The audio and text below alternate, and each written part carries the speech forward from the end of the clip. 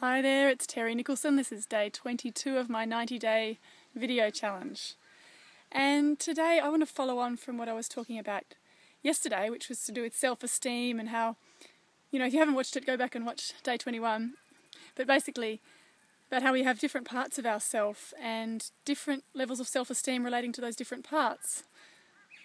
You know, relating with our relationship with money, we might have, you know, either feel quite confident or have quite a low self esteem or with our family members or with our partner, we might, you know, same thing, either have a sense of high or, or low self esteem in that area of our life.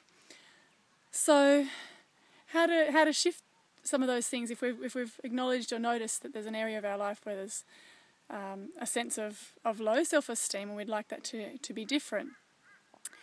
And one of the, you know, there's so many different ways to, to work with that, but one that I'm just going to put out there today is to actively and consciously go and hang out with other people who have high self esteem in that particular area that you might be struggling with.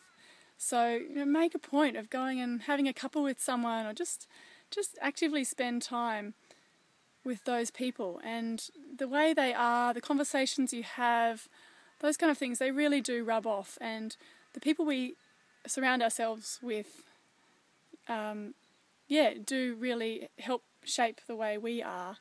And um, so that's my thought for today. I mean, there's many ways, and I'll share more, but just that one of actively um, going and seeking out contact, asking you know questions, and really engage in in conversations about the topic that you are, are wanting to to shift with. And the other, I'll put out there right now is to um, yeah, just really look at your mindset around those areas. And I just was remembering just as I'm in the middle of this video that um, to acknowledge that where I first heard these sort of parts of ourselves with different self esteem was through Paul Blackburn and Beyond Success.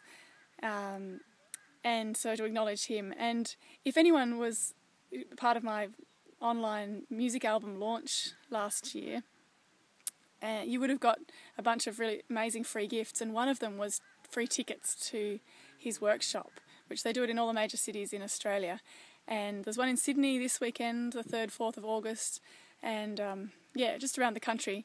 But yeah, you will have got free tickets to that. So if you message me or, or go back to the um, email you would have got, they're worth almost $2,000. So, um, and I just can't recommend it highly enough. It really, really helps you not only examine but shift um, what's going on in your, in your own head in relation to a whole heap of different topics um, including money.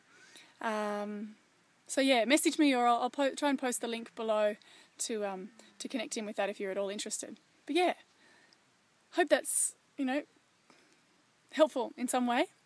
Subscribe to my channel. I'll be doing these videos for another well tonight for 90 days, and um, I'll talk to you again tomorrow on day 23. Bye.